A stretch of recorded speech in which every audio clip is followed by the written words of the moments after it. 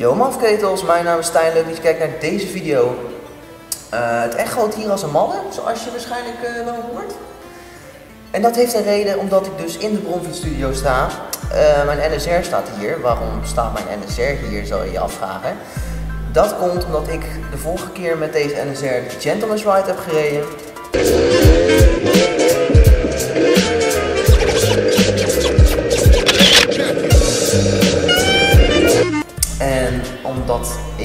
Nou ja, en een verrotte enkel had. Want ik was weer een keer net iets te ver gegaan dan komen met dit ding. Was ik onderuit gegaan. Er is niks stuk gegaan gelukkig. Maar goed, ik ben op mijn zij gegaan. Op mijn enkel.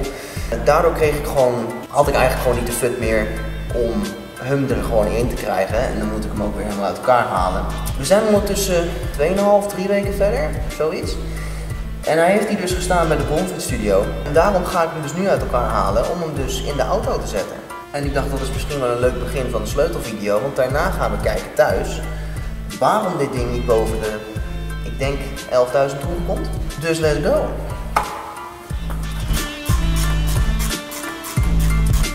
Los. Ik weet eigenlijk niet of ik überhaupt wel genoeg licht heb, want ik heb één lamp en ik weet niet waar de lampen zitten van de studio. Het is hier namelijk nogal groot, daarom echoot het hier ook, want het is echt huge.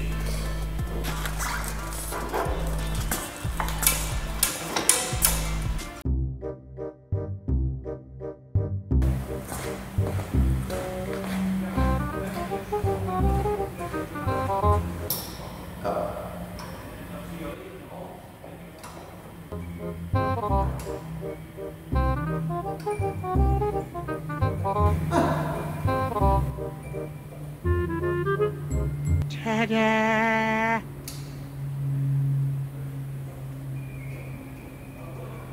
Nice. Hey, Lied! Ja, ze hebben allemaal, ja, dat klopt. Ze Ja. hebben ze wel allemaal gefotografeerd, maar er zit een embargo op tot maart, geloof ik. Ja, kijk, en dit van mijn video gaat waarschijnlijk over twee weken online, dus dan moet ik het even blurren. Hé, hey, die, Kawasaki's die hier staan, die mogen nog niet eh, publiekelijk gemaakt worden, geloof ik, hè? Oh ja, ik blur het gewoon de video. Dan zie je gewoon één vlek daar in de hoek staan. En bovendien, ik heb de camera nu deze kant op staan, dus nu zie je sowieso niks. Je ziet alleen dit. Nee, kijk dan, nou, kijk dan maar even naar. Nee, helemaal prima, dan weet ik het even. Hey, heel goed dat je er was? Oké, ik pak jullie even op.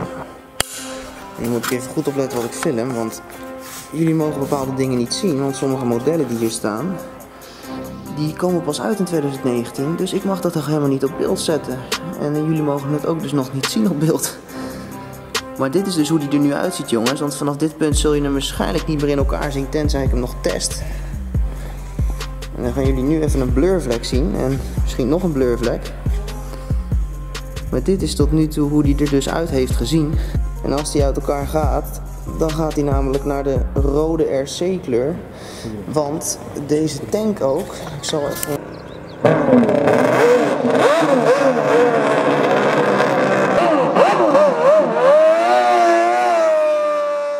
Eh, kijk, zien jullie die rare rand erin? Ik heb die tank hier erin gegooid, zoals ik jullie een paar video's terug had laten zien. Van de NSR-serie. Maar dat is losgekomen. En ja, dan kan ik dus weer de boel gaan spuiten. Ja, dan heb je dus weer zo'n plek als dit. Die je dan weg zou gaan moeten werken. En ja, dat wordt allemaal onnodige klooi. Dus ik ga dat gewoon niet doen. En ik heb een tweede tank. Al klaar liggen in de goede kleur. Dus die gaat er gewoon opkomen. Dus dit is hem nu. En hij gaat nu kaal. Jongen, jongen, wat een ruimte ook, jongens. Niet normaal.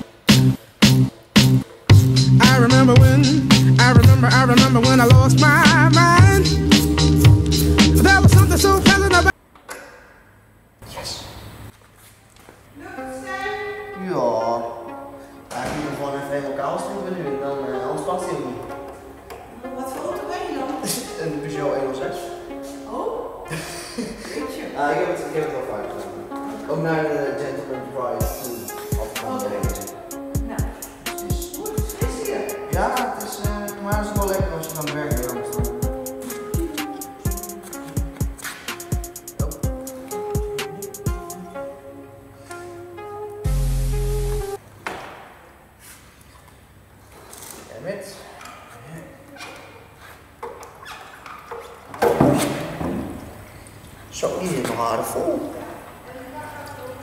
Hoe is joh. Ik heb die hele Gentleman's Ride gereden. En dit voelt echt alsof er nog...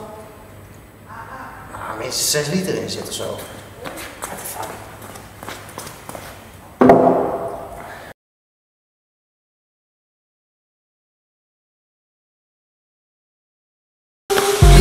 Dit is hem dan.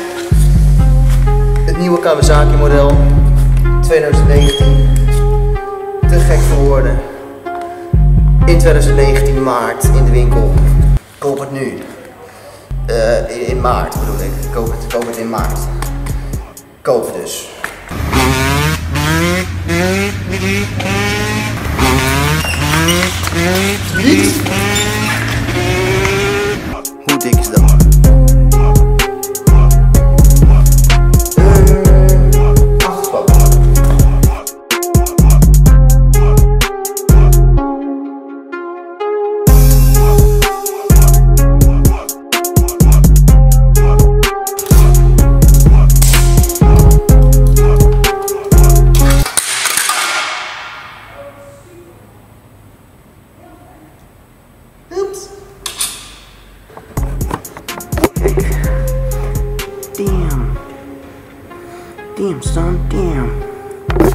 Kunnen hier. Oh, no, no, no, no, no. We moeten uitzoomen. Kijk, yo. Blijf dit houden. Ja, ik heb dus een nieuwe camera. En dit ding kan tot en met 4K. Alleen ik heb hem gewoon in HD. Want dan heb je meer FPS en dezelfde kwaliteit van lens. Maar dit is wel decent. Slowly. Ja, check het. Hij is nu best wel kaal. Want behalve de tellerset hij nu pak en breed erin kunnen. Maar om het makkelijker te maken voor het tillen, ben ik van plan de tellerset er misschien toch ook af te halen, maar vooral de uitlaat. En waarom? Ik weet niet of jullie dat beeld kunnen zien, denk ik wel. De NSR heeft een fadebed frame. En een fadebed frame is zeg maar een frame dat onder het blok doorgaat, waardoor ook het blok vast kan worden gezet aan de onderkant bij het frame. Dat zou betekenen dat als ik hem zeg maar achter in de auto beur, dat als ik het voorbeeld er helemaal in heb, dat ik dan de rand van de auto, want ik, ik geef echt niks om mijn auto, want mijn auto is zeg maar nog minder waard dan de camera waar ik mee film.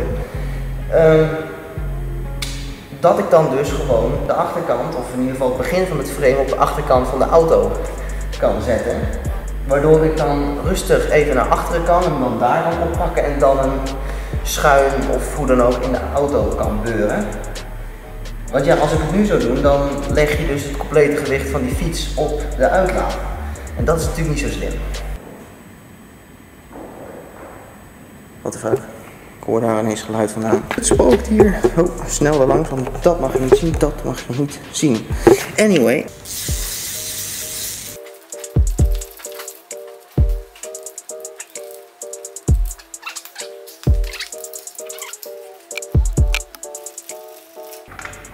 Go. Eh, dit wil je namelijk niet al te lang vasthouden. Dus ik pak even dit doekje hiervoor. En dan moet ik. Kijk. There we go. Ik moet zeggen, die uitlaat. Oh, hij ziet er heel vies uit, maar hij is best wel vies, maar hij is helemaal niet verroest. Het lijkt een beetje op camera alsof het verroest is, maar het is gewoon, gewoon helemaal metaalkleur. Het is helemaal prima nog, dus.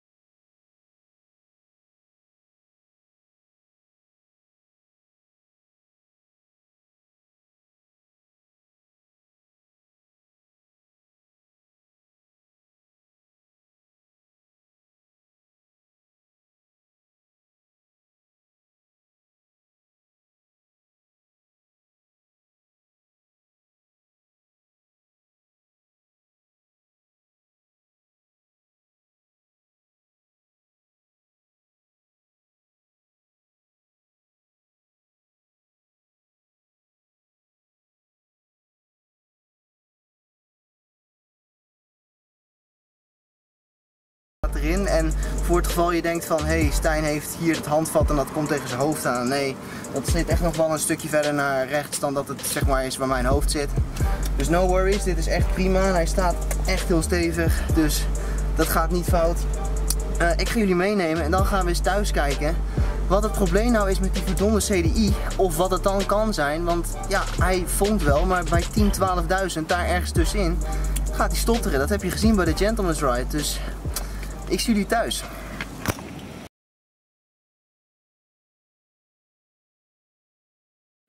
We precies het zon weer tegen, maar dat maakt niet uit. Staat hij dan?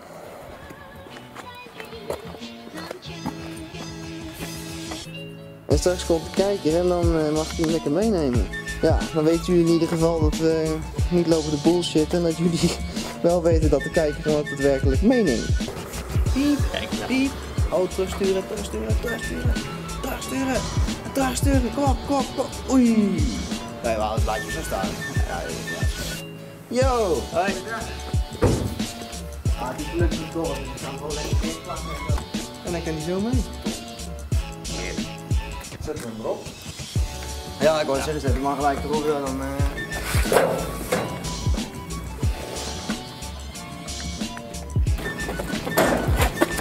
En dan de lazy fuck zijn die gewoon niet helpt.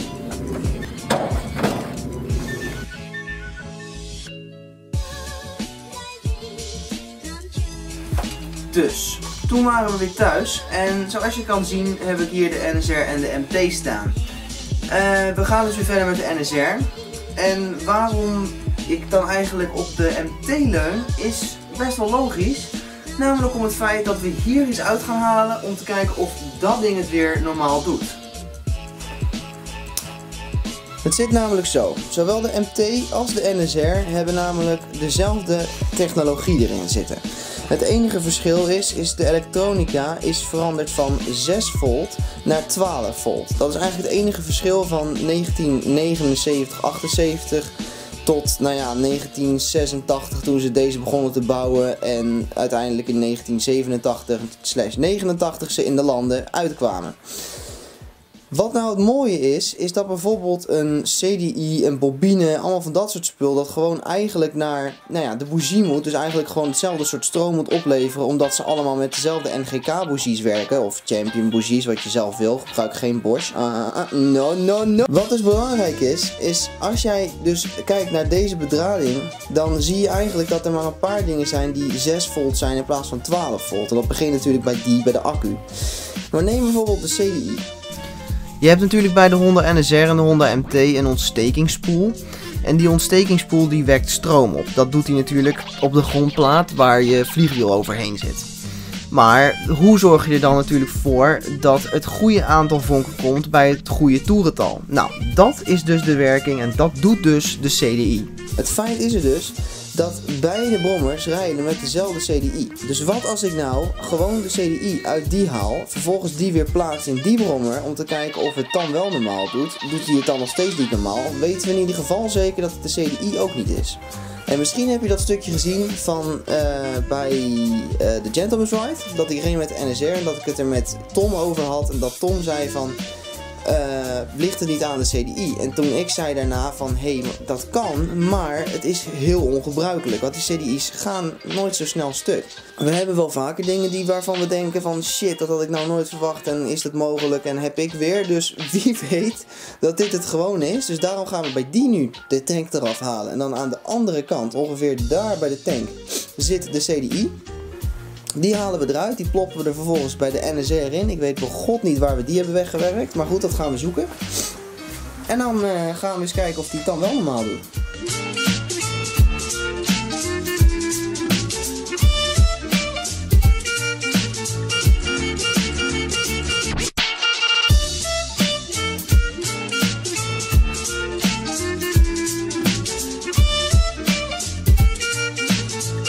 Als het goed is, zou ik maar een klein stukje van dit ding eraf hoeven te schuiven. Omdat aan deze kant, aan de zijkant, de CDI zit. Maar dat weet ik dus niet zeker.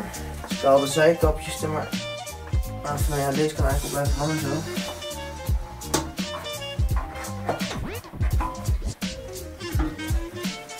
Als het goed is, ja. Dat is hem, de CDI. Een Shindengen. Eh ja, eigenlijk alle CDI's origineel zijn van de Honda M-serie. Die gaat er dus uit en die zitten dus eigenlijk ook daar. Vermoedelijk gok ik achter dat zwarte zijplaatje wat ik heb gemaakt, waar ook de accu zit.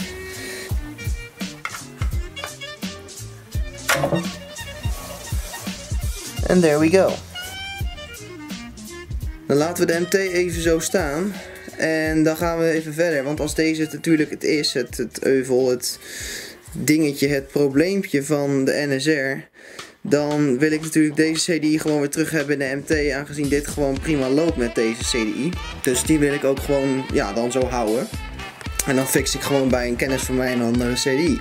Jongens, ik denk dat ik hem heb gevonden. Hij ligt. Nee, grapje, hij ligt niet hier. Ik heb hem, ik heb hem hier achter. Eh, althans, zit precies zo'nzelfde stekker aansluiting als deze rode. Tire hippie. Fuck off. Juist. Got him. Look people, I got two now. Dit is die dus van de NSR. De NSR CDI is toevallig bruin. Ik weet echt begot niet oh. Ik weet echt begot niet waarom, maar hij is bruin.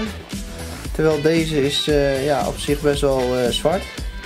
Maar goed, desalniettemin, we hebben er nu dus twee. En dit is dus van, de MT en deze is van de NSR. Dus ik ga deze nu even proberen te douwen in de NSR. En kijken of deze dus eigenlijk niet gewoon op is. De aansluitingen zijn hetzelfde. Ik moet zeggen, ik weet niet of jullie dat weten. Misschien dat Mark dat wel weet. Dus misschien dat Mark dat zou antwoorden onder in de reacties. Wat is hier het verschil in? Want ik zie allemaal verschillende cijfertjes staan. En ik snap ondertussen wel een beetje hoe de draadboom werkt. En ik kan ook wel solderen en zo. Maar dit soort specifieke shit weet ik echt niet. Oh, mijn slipper! Ja, it.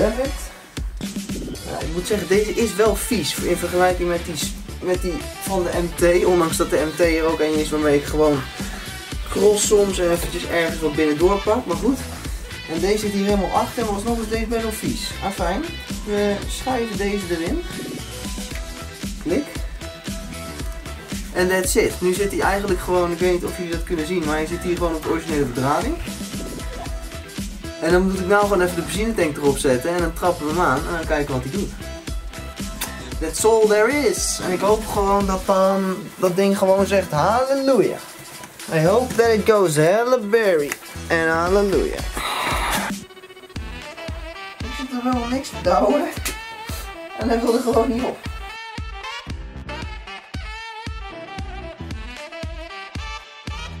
The fuck is wrong with you? Juist. oh, bijna mijn bek. Maar hij zit erop.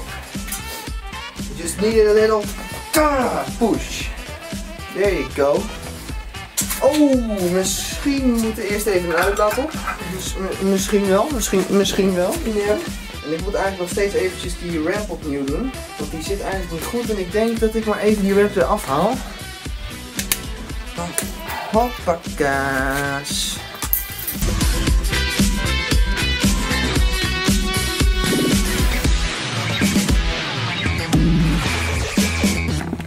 Je kan zelfs gewoon nog steeds van het roest, of in het roest, zie je de banen die hij heeft gemaakt met de wrap. Want ertussen zie je inderdaad gewoon nog echt een hele nette uitlaat. Maar ja, dat eh, is gewoon merendeel verneukt door die wrap. En dat had ik niet verwacht. Ik had eigenlijk precies het tegenovergestelde verwacht.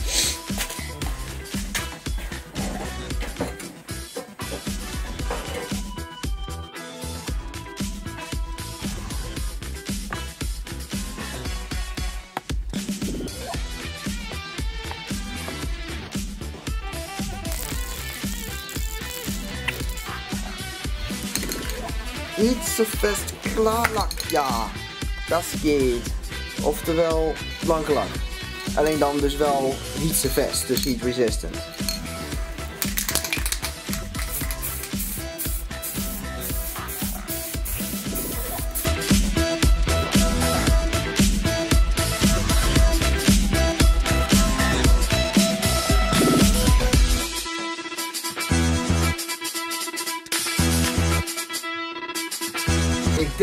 Mensen, dat eh, er best wel goed op zit.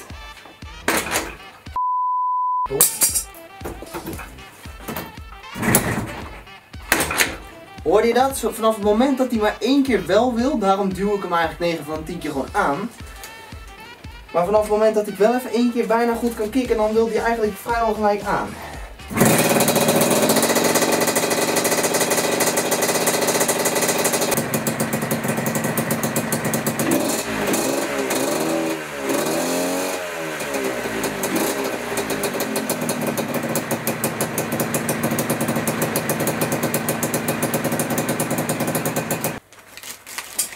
Hoi. Hey, wil je iets drinken? Ah, dus ik heb de uitlaat niet helemaal recht zitten. Dus ik maak eerst het luchtverlies. Dat is beter. Denk ik. Most definitely better. Better, better. Je bent jezelf niet als je... Ja, oké. Oké, oké. Laten we...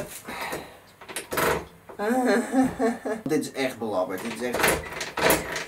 Dit is zelfs... Ik moet hem echt heel precies erop houden en dan...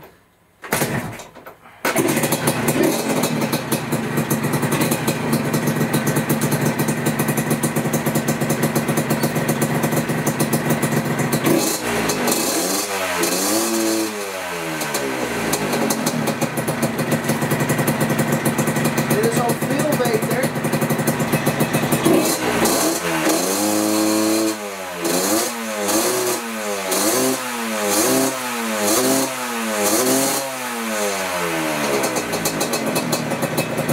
Dus, eh, ik krijg hem zo snel niet warm, want zoals je kon zien, ik kon gewoon mijn vingers erop houden en hier. Hij loopt nou de hele tijd al en ik heb nu gewoon mijn hand hier gewoon vol op die uitlaat. Hij wordt gewoon nog niet warm en het is ook best wel koud, ondanks dat het nu een grote rooksmoke is. Trust me, het is ondertussen al best wel koud. Want de dag dat jij dit ziet, is dit ook opgenomen. Want dit stukje heb ik gewoon nog niet de tijd voor gehad om op te nemen. Omdat ik best wel druk ben met mijn studie en ook met andere dingen. En ja, daardoor lukt het gewoon nog niet zo makkelijk nu. En daar moet ik allemaal even weer een plekje voor vinden. eh, zo na de zomer. Maar dat komt goed.